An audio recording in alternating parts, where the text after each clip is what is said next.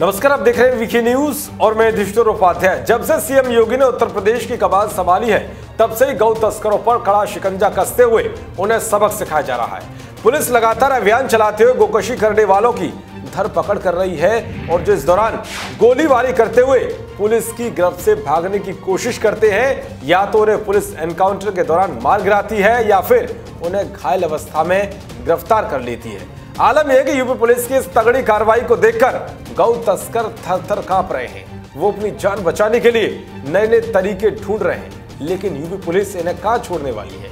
वो इन्हें पाताल से भी खोजकर सजा दिला रही है। एक बार फिर से सूबे की पुलिस ने गौवंशीय पशुओं की हत्या करने के आरोप में दो गिरोह के चौदह लोगों पर तगड़ा एक्शन लेते हुए गैंगस्टर की रिपोर्ट दर्ज की है।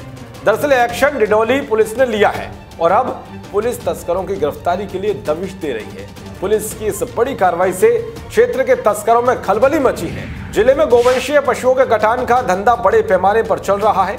एसपी सुनीति के आदेश पर ज़िले की पुलिस तस्कर और माफिया के खिलाफ अभियान चलाकर कार्रवाई कर रही है। ऐसे में डिडौली, कोतवाली क्षेत्र में गोवंशीय पशुओं का कटान कर मांस की तस्करी करने वाले चौदह तस्करों के खिलाफ गैंगस्टर की रिपोर्ट दर्ज की है।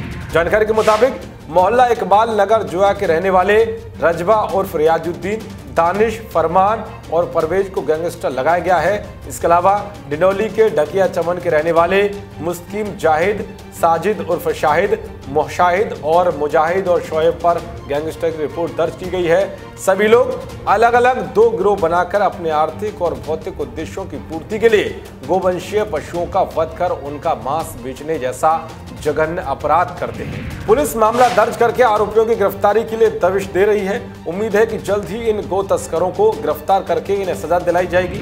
वैसे भी सीएम योगी ने पिछले दिनों ही कहा था कि हमारी संस्कृति में गाय को गोमाता कहा जाता है। गाय के बिना कोई कर्मकांड पूरा नहीं किया जा सकता। और इसी बात को ध्यान में रखते हुए उन्होंने गौ संरक्षण और संवर्धन के लिए कई फैसले लिए हैं। चाहे वो अवैध बूचड़ खानों और गोवंश तस्करी पर बैन लगाने की बात हो या फिर गोकशी करने वालों के खिलाफ कड़ा कानून बनाने की। कुल मिलाकर गोहत्या करने वालों को सीएम योगी किसी भी कीमत पर छोड़ने के मूड में नहीं है, क्योंकि वो खुद एक महंत हैं जो गौ सेवा करते हुए नज़र आते रहते हैं। देश और दुनिया की तमाम खबरों को पाने के लिए देखते रहिए वीके न्यूज़। नमस्कार।